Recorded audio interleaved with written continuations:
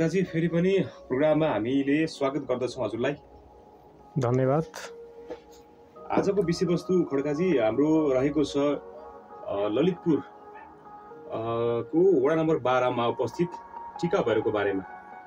सायद धेरै दर्शकहरूलाई पनि थाहा नहुन सक्छ यो लेलेमा रहेको टिका भैरवको बारेमा। सो त्यसको लागि खड्काजीबाटै आज हामी यसको बारेमा केही कुराहरू सुनौँ भनेर सर्वप्रथम त धन्यवाद यहाँहरूलाई। ललितपुर जिल्ला काठमाडौँ भ्याली अन्तर्गत ललितपुर जिल्लाको गोदावरी नगरपालिका वडा नम्बर बाह्रमा अवस्थित लेले को उत्तर वाहिनी नदीको किनारामा रहेको टिक्का भैरव मन्दिर। यो परापूर्व कालदेखि र सत्य युगदेखि यसको महिमा र गाथा गाइँदै आएको छ। यसलाई सत्य युगमा यी नदीलाई चन्द्रावती लीलावती र कपिलावती भनिन्थ्यो। जुन तिन नदीको सङ्गम स्थल छ जहाँनेरि टिका भैरवको मन्दिर छन्। त्यसलाई त्रेथायुगमा आएर गङ्गा जमुना र सरस्वतीको नाम दिइयो र अहिले यसलाई उत्तरवाहिनी नदीको नाम दिइएको छ। यो यहाँनिर टिका भैरवको एउटा मन्दिर छ। जहाँनिर यसका किम्बदन्तीहरू धेरै छन्। किम्बदन्ती किम्बदन्तीकै आधारले मैले यहाँहरूसँग यो प्रश्न कुरा गर्न गइरहेको छु। यो सत्ययुगमा महादेवले सत्यदेवीको पार्थिव शरीरलाई लिएर हिँड्दा हजुर। त्यहाँ एउटा कुनै अङ्ग खस्यो एउटा पिण्डको रूपमा खस्यो। जुन पिण्डलाई महादेव र पार्वतीको नामले ती दुईवटा शिलालाई मानिन्छ र त्यो शिलाको रक्षकको रूपमा ती टिक्का भैरव बाबालाई। त्यहाँ महादेवले स्थापना गर्नुभयो। र महादेवकै अंशको रूपमा उहाँ टिक्का भैरव त्यहाँ बस्नुभयो। त्यो टिक्का भैरवको एउटा कहानी के छ भन्दा ललितपुर जिल्लाको साधो बाटो भएर जान्छ चापा गाउँ हजुर। त्यो चापा गाउँमा पहिला बस्ती थियो। चापा गाउँका मान्छेहरूका खुटी या लेक जुन बर्खामा गाईहरू लग्ने र गाई राख्ने र त्यहाँ केही खेतबारीको काम गर्ने हजुर। रूपमा त्यहाँ त्यो चापा गाउँका मान्छेहरूको त्यहाँ एउटा खुट्टी बर्खे खुट्टीको रूपमा त्यो लेलेमा रहेछ। त्यो बर्खे खुट्टीको रूपमा त्यहाँ खुट्टीमा बस्ने र हिउँदेमा त्यहाँ तरकारीहरू विभिन्न किसिमका खेतीहरू त्यति बेला पनि गर्ने चलन रहेछ। त्यो खेती गर्ने क्रममा त्यहाँ त्यो एकजना त्यो चापा गाउँको अत्यन्त राम्री सुन्दरी युवती हजुर। त्यो लेलेमा आफ्नो बारीमा आफ्नो खेतमा त्यो केरौँ खेती त्यतिखेर केरौँ फल त्यहाँ लाउँदो रहेछ। त्यो मटर बाली मटर कोसा बाली पनि भन्छ त्यसलाई। हजुर। त्यो केरौँको रखवाली गर्न या केरौँको त्यो हेरविचार गर्न ती युवती त्यहाँ जाँदै रहेछन्। त्यति बेला त्यो टिक्का भैरव पनि त्यहाँ युवक अवस्थामा रहेछन्। हजुर। र त्यो युवतीलाई देखेपछि अत्यन्त सुन्दर युवती देखेपछि त्यो टिक्का भैरव पनि मोहित भए। र त्यो युवती कहाँ प्रायः जसो आउने र बस्ने क्रम सुरु भयो। हजुर। त्यहाँ आउँदा त्यो युवतीसँग बस्दा त्यो पाकेको केरौँको फल टिका भैरवले निकालेर खाने त्यो दानाहरू खाने अनि त्यो फस्टाहरू त्यो बाहिरको त्यो बोक्राहरू त्यहाँ फाल्ने प्रक्रिया भयो। त्यो धेरै दिन त्यो प्रक्रिया चलेपछि एक दिन त्यो सुन्दरी युवतीकी आमा त्यो खेतबारीमा के छ कसो छ भनेर हेर्न जाँदा त्यो केरौँको खोस्टाहरू मात्रै देखिन्। केरौँ त खाइसकेको छ। त्यो देखेपछि कसैले यहाँ खान्छ? भोलिदेखि त छोरी यहाँ केरौँ हेर्न नआउने। त चाहिँ घरमै बस्ने। केरौँ खेतमा म आउँछु भनेर त्यहाँ सल्लाह गरेर भोलिपल्टिबाट त्यो सुन्दरी युवतीलाई त्यहाँ जान नदिएर ती आमा स्वयं आफै जाने भइन्। र सुन्दरी युवतीलाई बाख्राको गोठमा। बाख्राको खोरमा काम गर्ने जिम्मेवारी दिइन् घरमै। त्यो कुरो टिक्का भैरवलाई थाहा भयो। कि आज सुन्दरी मेरो आउँदैन। सुन्दरीको आमा चाहिँ आउनुहुन्छ र उहाँले यस्तो यस्तो भन्नुभएको छ भन्ने कुरो उहाँलाई थाहा भयो। उहाँ त अन्तर्यामी अन्तर्यामी हुनुहुन्थ्यो उहाँले थाहा पाउनु भयो। हजुर हजुर त्यसपछि उहाँले एउटा खेल के गर्नुभयो भने। त्यो केरौँभित्र जति छन् हजुर। त्यो केरौँकोलाई फोकाउने क्रममा बाख्राको बडगौँला मात्रै आउने। बाख्राको मललाई बडगौँला भन्ने सिस्टम थियो त्यतिखेर अहिले पनि छ त्यो। यता कता भनिन्छ। जति त्यो केरौँलाई त्यो फोकाएर हेर्छिन् ती आमाले त्यो बाख्राको बडगौँला मात्रै त्यहाँ देखिन्छ। देखिन्छ। ओहो के आपत भयो यस्तो भनेर भने फर्केर आइन्। अनि भोलिपल्ट फेरि टिका भएर त्यहीँ थिए आफ्नै ठाउँमा। र त्यो सुन्दरी फेरि खेतमा गइन्। र सुन्दरी खेतमा गइसकेपछि त्यो पुनः त्यो केरौँ फेरि केरौँ बन्यो र त्यो दानाहरू बने। हजुर। अनि त्यो दुईजनाको कुरा भयो त्यहाँ सुन्दर सुन्दरी र त्यो टिका भैरवको। हजुर।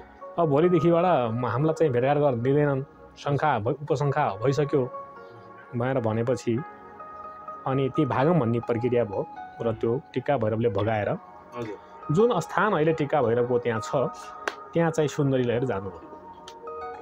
त्यो सुन्दरी लिएर गइसकेपछि सुन्दरी कहाँ गई त? गाउँमा खोज खबर भयो। अनि सुन्दर अर्को गोठालाले के भन्यो भने त्यो टिका भैरव त्यहाँ आएको थिए टिकाजी। उसले लिएर गए त्यो केटाले भगाए त्यो केटी भागिन् भन्ने कुरो र त्यति गर्दा चाहिँ टिका भैरवको त्यहाँ बिहे विवाह भयो। हजुर। त्यो कुरो अहिलेसम्म पनि। सत्ययुगदेखिबाट त्रेथा द्वापर हुँदै कल्की युगसम्म पनि त्यो परम्परा यथावत छ र त्यो वर्षको एकपटक ठ्याक्कै मलाई महिना थाहा भएन अहिले म भुलेँ। वर्षको एकपटक त्यो टिका भैरवको पाल्की। माइती देशमा आउँछ। चापा गाउँमा र एक रात त्यहाँ रहन्छ। र भोलिपल्ट फेरि त्यो पाल्की पुनः टिका भैरव कहाँ पुग्छ र त्यहाँ मेलाको रूपमा। ठुलो एउटा मेला लाग्छ। हजुर। र अब रह्यो त्यो गङ्गा जमुना सरस्वती लीलावती इन्द्रावती र कपिलावती। हजुर।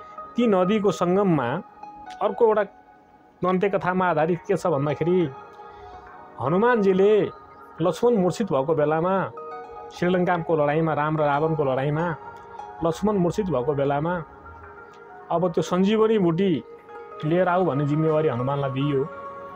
र सञ्जीवनी बुटी के हो त भनेर हनुमानजीले चिन्नु भएन। उहाँले के ठान्नुभयो भने यो पाहाडमा छ भने यो पाहाडै लिएर जान्छु म। भनेर उहाँले पाहाड पर्वतलाई नै बोकेर एउटा हातमा उठाएर त्यो सञ्जीवनी बुटी लिएर जान जाने क्रममा लङ्का जाने क्रममा हिमालय पर्वतबाट आउने क्रममा त्यही बाटो भएर जानुभयो। र त्यो सञ्जीवनी बुटी लगेको त्यो पाहाडको पर्वतको केही हिस्सा त्यहाँ खस्यो। जो पिण्डको रूपमा अहिले पनि दुईवटा ढुङ्गाको रूपमा त्यहाँ काल भयो के अरे टिक्का भैरवको नामले चिनिन्छन्। ती शिलालाई अहिले यो अवस्थामा र त्यो त्रेथायुगमा त्यो नामले दिइन्छ। त्यसलाई राम र सीताको नामले पनि दिए पूजा गरी गरिन्छ र गरिएको छ। पहिला सत् के अरे शिव र पार्वतीको नामले पूजा गरिन्थ्यो। त्यसपछि अहिले राम र सीताको रूपमा त्यो पिण्डलाई पूजा गरिने चलन छ। त्यो पत्रे ढुङ्गा त्यो शिला दुईवटा। हजुर। जो छन् त्यहाँको अवस्था त्यो जो दुईवटा पत्थर छन् त्यो पत्थरलाई मात्रै त्यहाँ शक्तिको रूपमा मानिन्छ। मानिन्छ। अब यो कुरा भयो त्यो ठाउँको बारेमा अथवा त्यसको मान्यताको बारेमा केही धारणाहरू किंवदन्तीका कुराहरूमा पनि भए। अब एउटा कुरा यहाँनिर हाम्रो दर्शकहरूलाई पनि सोध्न अथवा उहाँको जिज्ञासा कुरा पनि रह्यो होला। टिका भैरवको विषयमा कुरा गर्दा टिका भैरव को थिए कहाँबाट आए र उनको नाम टिका भैरव नै किन पर्यो भन्ने कुरा पनि यहाँ स्पष्ट पारिदिनुहोस् न। यसो छ भैरवहरूको नाम अब यो महादेवबाटै महादेवकै रूप हो यो। हजुर। टिका भैरव बट्टु भैरव काल भैरव अनि विभिन्न नामले यिनीहरू भैरवको एउटा नाम दिएको छ र यो महादेवको रूप। महादेवको रूप, हजुर। यसलाई महादेवले कुनै रूपमा एउटा सत्य के अरे त्यो सत्य देवीको पार्थिव शरीरको अङ्ग खसेको ठाउँ ठाउँमा जहाँनिर देवीका मन्दिरहरू छन्। जहाँ त्यो अङ्गहरू खसे त्यहाँ भैरवको रूपमा रक्षकको रूपमा आफै शिवजीले द्वारपाल भएर बस्नुभयो। त्यहाँ रक्षा गर्नुभयो र त्यो त्यो अवस्थालाई भैरव भनियो। त्यो त्योभन्दा पहिला सत्ययुगमा शिवजी स्वयं भनिन्थ्यो शिव महाराज भनिन्थ्यो भने त्यसपछि आएर भैरव बनियो। अब यी भैरवलाई यो काठमाडौँको वास्तवमा इतिहास के अरे यो भ्यालीलाई हेर्ने हो भने चार ठाउँबाट चार ढोकाबाट भैरव रक्षा गर्नुभएको छ। प्रत्येक ठाउँमा भैरव स्थान छ। भैरवलाई वास्तवमा न्यायको देवता पनि मानिन्छ। त्यहाँ अर्को कुरो के छ एउटा इतिहास भने त्यो टिक्का भैरव भएको ठाउँलाई त्यहाँ त्यति बेला कुनै त्यो अवस्थामा जब उहाँले विवाह गर्नुभयो त्यसपछि उहाँ त्यस पश्चातमा त्यो ठाउँको त्यो एरियाको यहाँ राजा हुनुहुन्थ्यो। ठिक छ। उहाँलाई राजा मानिन्थ्यो। त्यो एउटा राजाको दरबारमा अर्को राजाले पाउ पर्न जानु हुँदैन भन्ने प्रक्रियामा अहिलेसम्म नेपालको राष्ट्र प्रमुख या राजा त्यो टिक्का भएर भएको स्थानमा पुगेको इतिहास छैन र जानु हुनु हुँदैन भन्ने चलन छ र अहिलेसम्म गएको हुनुहुन्न यहाँको राष्ट्र प्रमुखहरू यसको कारण मूल कारण के होला? मूल कारण के भने जस्तो नारायण थानमा भगवान् विष्णु बस्नु भएको छ। विष्णुको रूप छ त्यहाँ। बुढा नीलकण्ठको नामले र त्यहाँ चाहिँ राजा जानु या राष्ट्र प्रमुख जानु हुँदैन भन्ने चलन छ। त्यो परम्परा अनुसार अहिलेसम्म राष्ट्र प्रमुख र राजादेखि लिएर राष्ट्र प्रमुखसम्म त्यहाँ गएको छैन। इभन कि त्यहाँ प्रधानमन्त्रीसम्म जानुहुन्न त्यस्तै टिक्का भैरवमा पनि जानुभएको छैन। त्यहाँ गए अनिष्ट हुन्छ भन्ने चलन छ। एउटा मान्यता छ र। मान्यता जसलाई हामीले आजको टाइमले पनि आजको समयले पनि त्यसलाई मान्न बाध्य बनेको छ। बाध्य छ र स्वीकारेको छ। स्वीकारेको छ।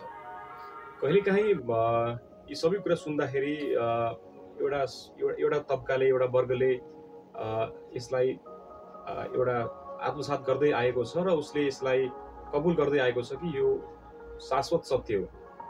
अर्को एउटा तबका छ जो कि आजको आधुनिक समयमा वैज्ञानिक कुरा गर्छन् र ती कुराहरूले किम्बदन्ती कुराहरू अथवा एउटा तथ्य नभएको कुरालाई उसले आधारविहीन कुरा भन्दै यसको अवहेलना गर्छन्।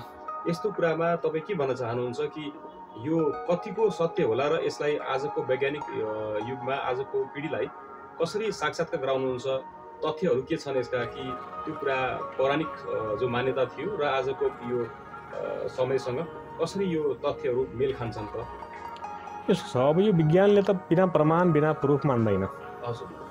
विज्ञान भनेको प्रमाणको प्रतीक हो। हजुर हजुर। र हाम्रो धर्म संस्कारले विज्ञानलाई मान्दैन।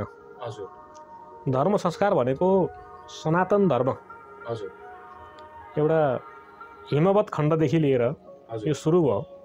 जो हिमालय पर्वतमा मान मानिसको सृष्टि भयो। त्यो मानिसको सृष्टि भइसकेपछि मानिसले बनाएको नियम एउटा त्यो बन्यो। त्यो संस्कार र त्यसलाई अहिलेसम्म मान्दै आएको छ एक तबकाले। हजुर। हजुरले भने चाहिँ अर्को तबकाले त्यसलाई मान्दिन्न। प्रमाणै छैन। बेप्रमाणिक कुरा किन बोल्ने भनिन्छ। तर सबै कुरो प्रमाणै भएको पनि हुँदैन। त्यस कारणले जीवन र जगतमा हामी जुन संस्कारबाट हुर्केका छौँ जुन संस्कारबाट हामी आएका छौँ र त्यो पुर्खाले मानेको सिस्टमलाई मान्दा राम्रै होला भन्ने म मान्दछु। र अर्को कुरा विज्ञान सम्बत यति हुँदैन भने हाम्रो पुर्खाले काँसैको थालमा भात किन खायो? अहिले विज्ञानले त्यसलाई प्रुफ गर्यो कि त्यो काँसाको थालमा एउटा यस्तो शक्ति छ। त्यो काँसाको शक्तिले शरीरभित्र भएका किटाणुहरू मारिदिन्छ भन्यो। हजुर हजुर। हाम्रो पुर्खाले तामाकै घाग्रीमा पानी किन खायो? त्यो त पुर्खाले खाएको वैज्ञानिक त त्यतिखेर थिएन। त्यो तामाकै गाग्रीमा खाएको पानी राम्रो हुन्छ भन्ने हाम्रो पुर्खाले भन्थ्यो। र हाम्रो घरमा तामा गाग्रीहरू हुन्थे। र इभन मेरो घरमा पनि थिए अब त छैन। अब त्यो गाग्रीहरू अहिले के भन्छ विज्ञानले भने त्यो तामुमा कोपर हुन्छ। र कोपरमा राखेको पानी बासी पानी खायो भने शरीरभित्रका किटाणुहरू मारिदिन्छ भनेर विज्ञानले भन्छ। त्यस कारणले हाम्रा पुर्खाहरू त वैज्ञानिकै थिए. मेरो विचारमा जहाँसम्म मलाई लाग्छ। अनि एउटा कुरा जस्तै यो टिका भैरवको जुन दार्शनिक स्थान जुन अहिलेको निकै एउटा भनौँ गन्तव्यको स्थल बनेको छ। त्यो स्थलसम्म पुग्नका लागि खास दर्शकहरूलाई अथवा अहिले जो भिडियो हेर्दै हुनुहुन्छ उहाँहरूले त्यो ठाउँ पुग्न खोज्नु भयो भने एउटा मार्ग के होला सही मार्ग त्यहाँ पुग्नका लागि? अब नेपालको राजधानी काठमाडौँ सम्पूर्ण जगतलाई थाहा होला विश्वलाई थाहा भएको कुरो हो। हजुर। काठमाडौँको एयरपोर्टमा यदि झर्नुभयो भने हजुर। कोटेश्वर हुँदै रिङ रोडबाट सातो बाटो। हजुर। ललितपुरको एकान्त कुना भन्ने ठाउँ गइन्छ। हजुर। एकान्त कुनादेखि दक्षिणतिरको भेगमा गयो भने चापा गाउँ पुगिन्छ र चापा गाउँबाट दुई अढाई किलोमिटरको आसपासमा त्यो लेले भन्ने स्थान छ। हजुर। त्यहाँ तिनवटा नदीको सङ्गम छ मैले यहाँबाट पहिला पनि भने। हजुर। र त्यसलाई पहिला चन्द्रावती लीलावती र कपिलावतीको नामले चिनिन्थ्यो सत्ययुगमा। हजुर। त्यसपछि यो द्वापर युगमा आउँदा तीर्थ तीर्थायित युग हुँदै द्वापर युगमा आउँदा यो गङ्गा जमुना र सरस्वतीको नामले चिनियो। त्यही नदीको सङ्गम त्यो उत्तरवाहिनी नदी भनिन्छ यसलाई। हजुर। नेपालको धर्मशास्त्रमा हेर्नुहुन्छ भने उत्तरवाहिनी नदीलाई मेन प्रधानतामा राखिएको छ र यो काँसी नदीको सिरान मानिन्छ यसलाई। यही नदी बागमती हुँदै बगेर काँसीमा जान्छन् र काँसीमा गइसकेर पिण्ड दिएपछि पितृहरूले पार पाउँछन् भन्ने हाम्रो काशीको उसमा पनि एउटा छ। हजुर। त्यस्तै हाम्रो यहाँनिर उत्तरवाहिनी नदीमा पनि गएर हामीले पिण्डहरू पनि दियौँ भने पितृहरूले पार गर्छन् र मोक्ष प्राप्ति गर्छन् हजुर। भन्ने किंवदन्ती हाम्रो रहिआएको छ र यसलाई काशीकै अब सिरानको रूपमा मानिन्छ। यो अब थलमार्गबाट गए पनि त्यही हो र अब जल जलमार्ग त नेपालमा छैन। वायु मार्गबाट आएपछि काठमाडौँबाट त्यहाँ झर्नुपर्छ। हजुर। यो स्थान एकदम एकान्त ठाउँमा छ। अति राम्रो रमणीय ठाउँमा तिनवटा नदीको सङ्गममा तिनवटा खोलाको सङ्गममा छ। र त्यहाँ सबैभन्दा हेर्ने लायक चिज के छ भने ती दुईवटा शिला। हजुर। त्यो शिला यहाँ दर्शकहरूलाई पनि म हेर्न भन्न चाहन्छु सायद युट्युबहरूमा देखिन्छ होला। हजुर। यहाँहरूलाई पनि म अनुरोध गर्छु देखाइदिनु होला। त्यस्तो शिला नेपालमै कहीँ देखिँदैन र त्यहाँनिर छन् दुईवटा जसलाई हामीले अब सत्ययुगमा भगवान् शिव र पार्वतीको अवतारको रूपमा मानिन्। त्यसपछि लङ्का जाने क्रममा हनुमानले पिण्ड खसाएको र त्यसलाई राम सीताको अवतारको रूपमा मान्यौँ। र त्यहाँ एउटा दर्शकहरूको भनाइ के छ भने त्यहाँ गएपछि मागेको पुग्छ भन्ने यहाँको स्थानीय बासिन्दाहरूको पनि एउटा परम्परागत चलन रहिआएको छ र त्यहाँ म पनि गएको छु र त्यो रमणीय ठाउँ मलाई राम्रो लाग्यो। हजुर। र यहाँहरू दर्शकहरू पनि त्यहाँ गइदिएपछि राम्रो हुन्छ। धर्मलाई मान्दा फरक पर्दैन। कुनै पनि धर्म होस् मान्नुपर्छ म भन्छु। हजुर। धर्मको विरोधी म होइन कुनै पनि धर्मको विरोधी होइन म। त्यो धर्मभन्दा पनि त्यहाँ एउटा संस्कार छ त्यो संस्कारलाई मानेको छ हामीले धर्म त पछि बन्यो। पहिला धर्म थिएन नि। हजुर।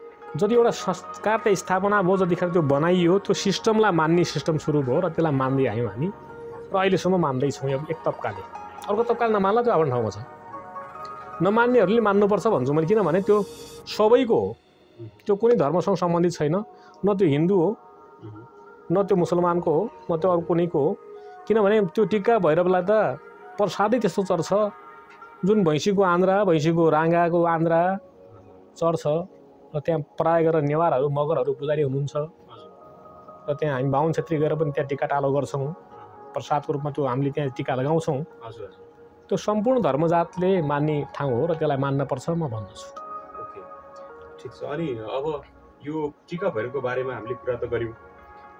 अब यसमा कस्तो समयमा त्यहाँ मेला हुन्छ? किनकि अब यो भिडियो हेरेर हेरेपछि पक्कै पनि हाम्रो दर्शकबिन जति हुनुहुन्छ उहाँहरू सबै मेलाको लागि प्रतीक्षा गरिराख्नु भएको हुन्छ होला।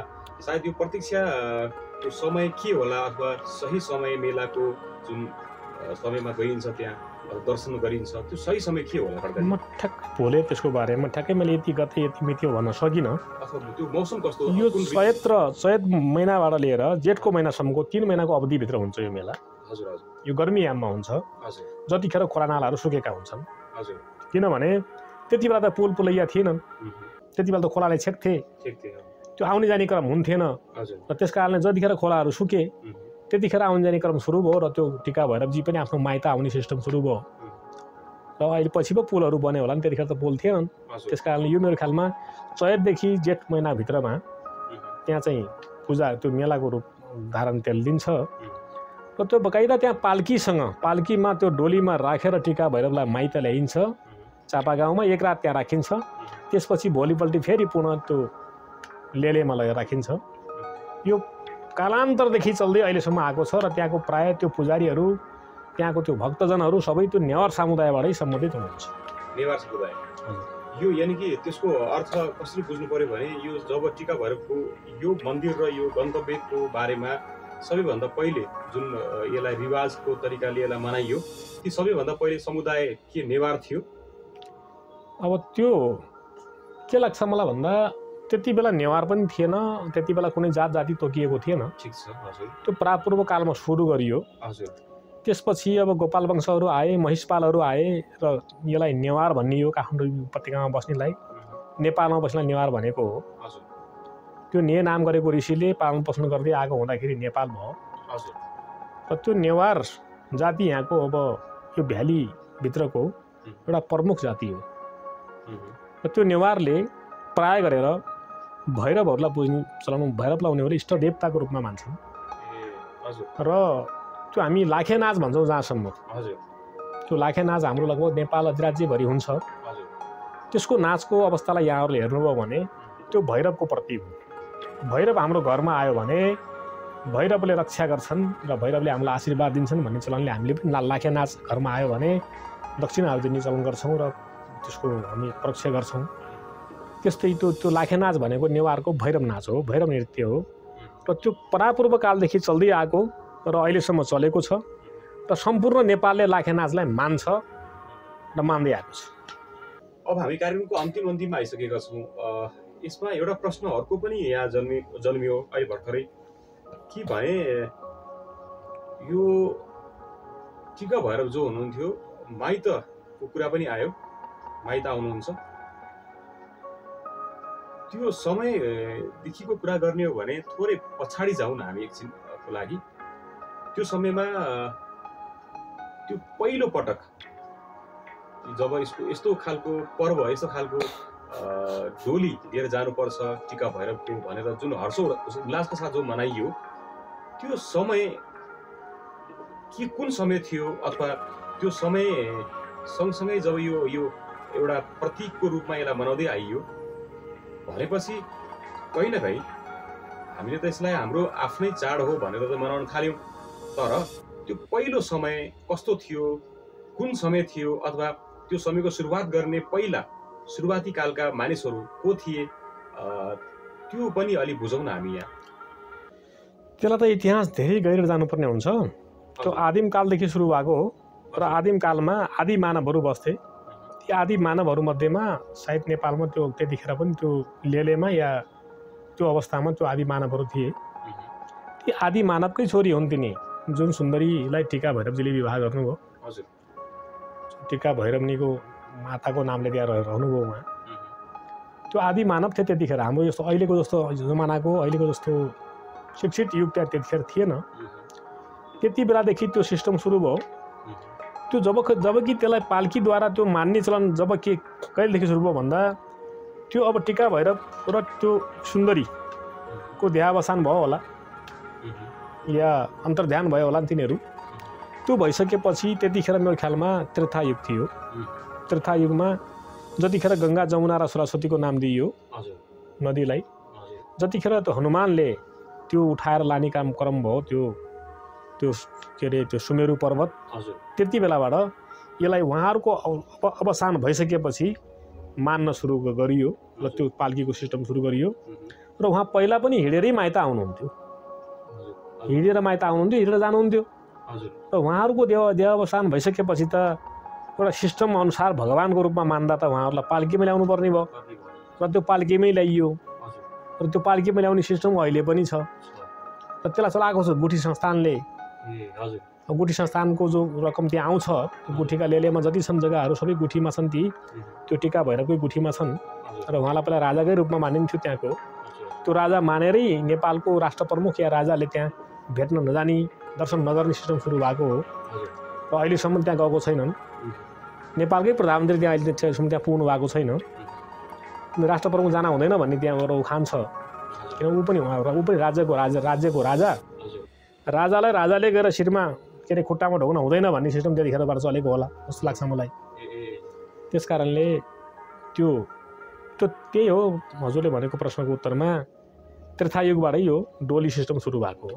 अनि यसको मान्यता कस्तो होला? जस्तै कुनै तीर्थको मान्यता कस्तो छ त्यस अनुसार पनि दर्शकहरूको त्यहाँ अथवा श्रद्धालुहरूको लाइन अथवा कतार त्यस्तै हुन्छ।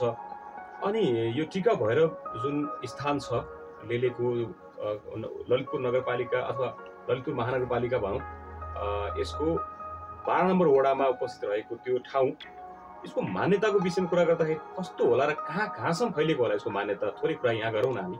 यसको मान्यता यो भ्यालीभित्र त पहिलेदेखि थियो। हजुर। र अहिले लगभग यो तपाईँको तराई प्रदेशसम्म हाम्रो तराई मध्य प्रदेशसम्म पुगेको छ। हजुर। मधेसको मान्छेहरू धेरै आउनुहुन्छ यहाँ। र उत्तरी भागबाट पनि गोर्खासम्म लमजुङसम्मका मान्छेहरू यहाँ आउनुहुन्छ। हजुर। त्यहाँ प्रत्येक दिन जसो ढाई सय तिन सयजना मान्छे त्यहाँ दर्शनार्थी जानुहुन्छ। हजुर। अब त्यो मेलाको टाइममा त अब हजारौँको रूपमै त्यहाँ पुग्नुहुन्छ मान्छेहरू। हजुर। त्यो मेलाको टाइममा त यो ललितपुर भक्तपुर र काठमाडौँ पुरै उल्टेकै हुन्छ। त्यहाँ वर्षको एकपल्ट जानुपर्छ बलि कस्तो दिइन्छ त्यहाँ? कस्तो बलि दिने चलन छ त्यहाँ? अब त्यो बलिको रूपमा के दिइन्छ भन्दाखेरि त्यहाँ अब त्यो काल भैरवलाई राँगाको बलि चल्छ नेवारहरूले त्यो मेलाको दिनमा एउटा मात्रै राँगा काट्ने हो। बलि त्यहाँ बलि चढ्दैन। अरू भगवान्ले त्यहाँ बलि लिँदैन। त्यो पनि उहाँहरूले निश्चित स्थानमा दिनुहुन्छ। र त्यसको आन्द्राहरू मात्रै लिएर त्यहाँ चढाउनुहुन्छ होला। किनभने त्यो भैरवको स्थानमा त्यो खुनको छिटो खासै पर्दैन। उहाँ अब त्यहाँ अब रक्सी चढ्छ। जाँड हजुर, प्रसादको रूपमा। उहाँले त्यो ग्रहण गर्नुहुन्थ्यो र त्यही ग्रहण गर्ने जातै अहिलेसम्म मेरो ख्यालमा नेवार वंश हो भन्ने मैले भन् मान्दछु। त्यो नेवार वंशकै त्यो पुर्खा हो जसलाई हामीले भैरवको रूपमा मान्यौँ जसलाई उहाँहरूले लाखेको रूपमा मान्नुहुन्छ। लाखे भनेको नेवारी भाषामा अब केटो हुन्छ। केटु केटोलाई लाखे भनिन्छ। त्यो लाखे भाषा उहाँहरूबाट सुरु भयो। र नेपालको हाम्रो पचहत्तरै सतहत्तरै जिल्लाले लाखे नाचलाई मन पराउँछ र हामी पनि मान्छौँ। त्यो लाखे नाचलाई हामी कंसको रूपमा मान्छौँ फेरि। उहाँहरूले भैरवको रूपमा मान्नुहुन्छ नेवार समुदायले। त्यसलाई अन्य समुदायले फेरि कंसको रूपमा मान्छ। कृष्ण र कंससँग त्यसलाई जोडेको छ। अब यहाँहरूले आफ्नो इष्टदेवताको रूपमा मान्नुहुन्छ। त्यस कारणले यो परापूर्वकालदेखि चलिआएको र राम्रो ठाउँ छ। नेपालकै दर्शकहरूले एकपटक आएर त्यहाँ भ्रमण गरिदिँदा राम्रो हुन्छ भन्ने म ठान्दछु। अनि ठिक छ। अब हामी कार्यक्रमको समापन गर्दैछौँ। आजको एपिसोडमा हामीले टिका भैरवको विषयमा अथवा टिका भैरवको तीर्थस्थलको विषयमा हामीले यो भिडियो मा गऱ्यौँ र साक्षात्कारमा यसपालि हाम्रो हामीसँग हुनुहुन्छ स्वयं खड्काजी यो विषयमा यस विषयको चिरफार गर्नका लागि र यो विषयको गहिराइसम्म पुग्नका लागि। र आशा छ कि हाम्रो यहाँ जति पनि दर्शकहरू हुनुहुन्छ हामी हाम्रो यस भिडियो मार्फत हामीलाई हेर्दै हुनुहुन्छ। उहाँहरूले पनि धेरै कुराहरू थाहा पाउनुभयो होला र कति कुरा त पहिलेदेखि पनि कतिलाई थाहा थियो होला तर पनि खड्काजीसँग हामीले केही नयाँ ढङ्गले पनि यस विषयमा थोरै संवाद गऱ्यौँ र अहिले खड्काजीलाई सबैभन्दा पहिले हामी धन्यवाद ज्ञापन गर्न चाहन्छौँ र प्रोग्रामबाट बिदाई लिन्छौँ। धन्यवाद यहाँहरूलाई पनि।